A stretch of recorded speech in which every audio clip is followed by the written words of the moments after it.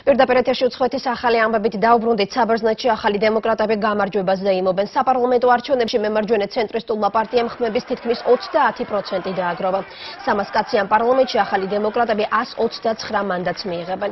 გამარჯვებული პარტია საბერძნეთის ევროზონაში დარჩენასა და ევროკავშირის მოთხოვნების შესრულებას ემხრობა. არჩევნებში მეორე ადგილზე გავიდა მემარცხენე პარტია სირიზა, მესამე ადგილი კი სოციალისტურმა პარტიამ დაიკავა. ახალი დემოკრატები და პასოკი სავარაუდოდ კოალიცია შექმნიან. ახალი დემოკრატების გამარჯვების შემდეგ საფონდო ბირჟებზე აქციების კურსი გაიზარდა.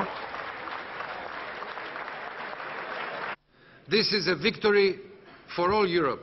ევროზონაში დასარჩენად დღეს ბერძენმა ხალხმა საკუთარი ნება გამოხატა. ეს სრულიად ევროპის გამარჯვება არის. მოუწოდებ პარტიებს, რომ მონაწილეობა მიიღონ ახალი მთავრობის ჩამოყალიბებაში. დარწმუნებული ვარ, რომ ბერძენი ხალხის თავდადება ქვეყნის აღორძინებით დასრულდება.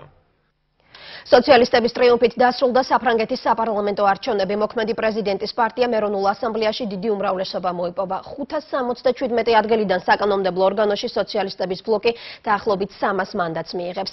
უმრავლესობის მოსაპოვებლად 289 ადგილიც საკმარისი იქნება.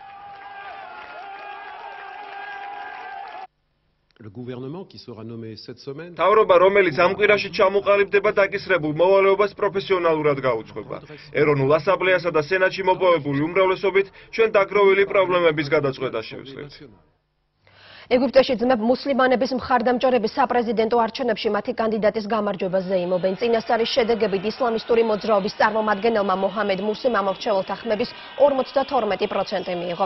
მისმა მეტოქე მუბარაკის მმართველობის დროინდელმა პრემიერ-მინისტრმა აჰმედ შაფიქმა კი 48%. თუმცა შაფიქის საარჩევნო შტაბში საბოლოო შედეგების გამოცხადებამდე დამარცხებას არ აღიარებენ.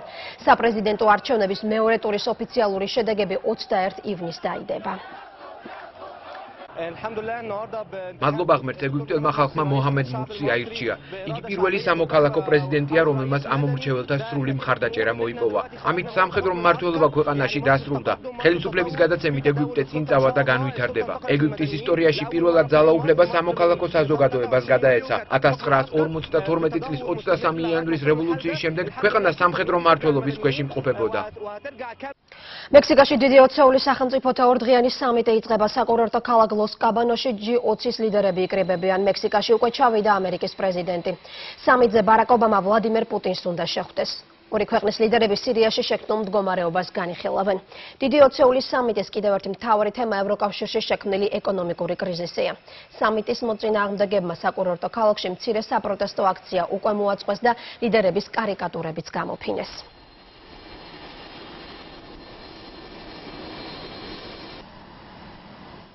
სამი ადამიანი დაიღუპა და ათეულობით დაშავდა პაკისტანში ტერაქტის შედეგად ბალუჩისტანის პროვინციაში ქალაქ კვეტაში დანაღმული ავტომობილი იმ დროს საფეთქდა, როდესაც გზაზე სტუდენტები ცავსე ავტობუსმა ჩაიარა. ბალუჩისტანი, რომელიც ავღანეთისა და ირანის საზღვარზე მდებარეობს, პაკისტანის ყველაზე დიდი და ღარიბი პროვინციაა. თავდასხმებს რეგიონში ძირითადად ადგილობრივი სეპარატისტული დაჯგუფების წევრები აწყობენ, რომელსაც უფრო მეტი ავტონომია და ბუნებრივ რესურსებზე კონტროლის მოპოვება სურთ.